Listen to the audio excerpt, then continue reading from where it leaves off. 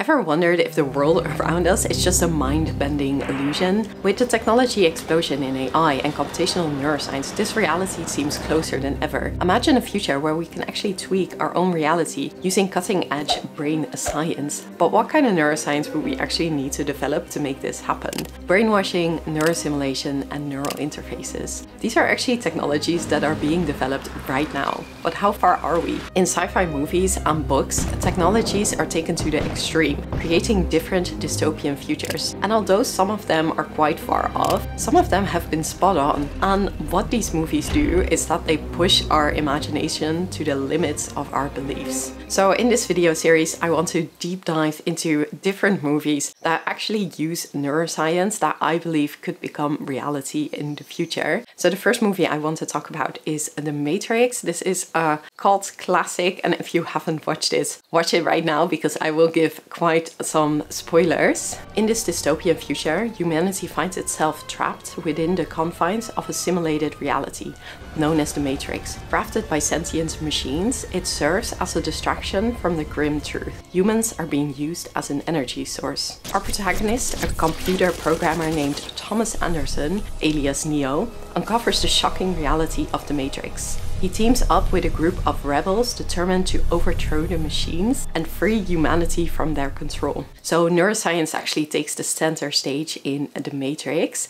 The film revolves around the idea that our perception is being controlled by the Matrix and that the Matrix has a direct control over our brains and shows us different versions of reality. So in the Matrix, the machines use electrical impulses to stimulate the brains of humans in the Matrix. And this is actually a concept called neuromodulation or neurostimulation. So neuromodulation is a concept at the heart of the Matrix. The machines use direct electrical impulses to stimulate the brains of humans, creating vivid sensory experiences. And this idea has actually been popularized in philosophy primarily, and that's the concept of the brain in a vat. So imagine that you are a brain suspended in a vat of nutrient-rich fluid with electrodes attached to your brain to stimulate sensory experiences. The electrodes are connected to a computer that can create and manipulate virtual reality environments which are fed directly into your brain. In this scenario, your brain would perceive the virtual reality as if it is real, and you would have no way of knowing that your experience were not actually happening in the physical world. Now this definitely raises some interesting philosophical questions about the nature of reality and if we can believe that anything around us is real. But what I actually want to think about is if this could actually happen if we take the laws of physics to be real right now in our lives. So instead of creating the whole world, let's tackle this problem step by step. So the first step would be to create one experience that's not out there in the world by direct stimulation of our brain. And actually this is right now possible. So one example of a technology that uses stimulation of the brain directly to give rise to some kind of sensory experience is a visual prosthetic. So a visual prosthetic involves using electrical stimulation to activate the visual cortex in the brain, which is in the back, uh, for people usually who are blind and creating the perception of visual images that are not necessarily there. So the visual prosthetic consists of two parts, an external camera and a tiny implant that is surgically placed or on the retina, for example, or directly on the visual area of the brain. And using this, we can actually restore the sight of some blind people to a certain degree. It's still not perfect, but this is just one sense, right? So could we actually then also create the experience of a whole world being around us. And this is definitely more speculative of what is possible right now. So one major concept that is being embraced right now in neuroscience is the idea of embodied cognition. So cognition is embodied when it is deeply dependent upon features of the physical body of an agent. That is when aspects of the agent's body beyond the brain play a significant causal or physically constitutive role in cognitive processing. So in general right now in neuroscience it is believed that we cannot really detach the brain from the body because they have both co-evolved over time to work in tandem in such specific ways that if we detach the brain from the body, we would basically need to build a new, a similar body to give rise to the same experiences. But if you have a different opinion, please let me know down below because it's still debated also amongst neuroscientists if this could be possible. So in the Matrix, they also use a neural interface. In the movie, the characters can enter the Matrix by plugging themselves into a neural interface that directly connects their brains to the simulated reality. So this interface is essentially a brain-computer interface. Maybe you have heard of it, these BCIs. And BCIs at the moment are actually quite commonly used. So I'll show some examples here. But one example that I personally really like is that in November of 2011, this Japanese company developed this NeuroWear, created a pair of supposedly mind-reading plush cat ears and they were called Necomimi.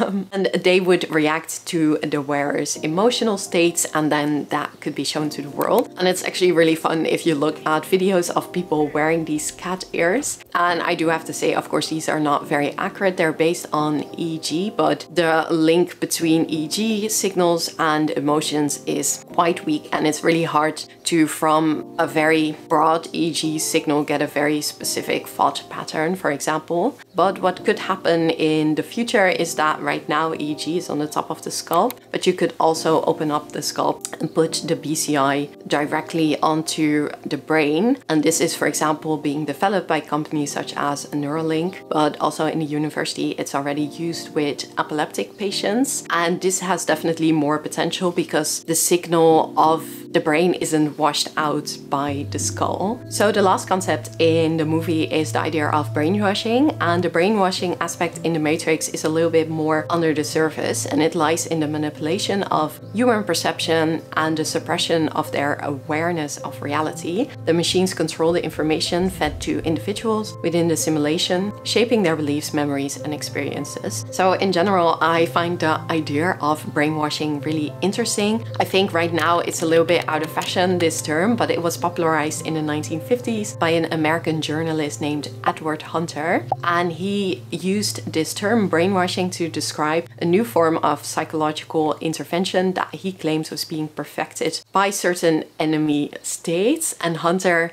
argued that this conglomeration of ideology, technology, medicine, and psychological sciences could be used to launch an onslaught on people's mind. So these are very specific words, but I want to dive into the idea if neuroscience could actually be used to brainwash people. So one of the most basic ideas of brainwashing is this suppression of memories and certain feelings. So the first thing that we would want to do if we want to suppress a specific memory is locate where this memory is located in the brain. But if you know a little bit about neuroscience, you actually know that memories aren't located in a specific part of our brain. They're actually distributed over different areas and networks in the brain. The formation, storage and retrieval of memories involve different brain regions working together. Two main areas in memory processing that are quite known are the hippocampus and the cerebral cortex. And you could of course think maybe I could just destroy these regions and then I would um, automatically suppress the memory formation of people and that is true you would suppress the memory information of people but they would also basically not be able to function in the world anymore. So I think this is a little bit too extreme but something that has been done in animals actually which I find quite interesting and it's still unknown if this is possible with humans, but that is the suppression or manipulation of memories through optogenetics. So for example, two recent studies have shown that it is possible to weaken or even erase memories associated with drug, drug use in rats, which reduces their drug-seeking behavior. When recovering addicts see uh, things like drug-related items or reminders of drug use, can trigger a strong craving and make them more likely to repress suppress. And these studies aim to disrupt this process of memory reconsolidation, which is our ability of our brains to strengthen and store memories when we recall them. But this is usually done only during the reconsolidation process, and it isn't really clear if after this reconsolidation has been done, which is a way more distributed process, if we can then still alter these memory states by a very specific neuroscience technology. I would actually also love your opinion if you think any of these technologies could be brought even further than where they are now, and if a reality such as created by the Matrix could become a true reality that we would be living in. Also, if you have any movies or books that you love that touch upon the concept of neuroscience in sci-fi, I would love to read or watch them, so put them down in the comments below. And if you could choose the blue or the red pill, which one would you pick? I think I know my answer.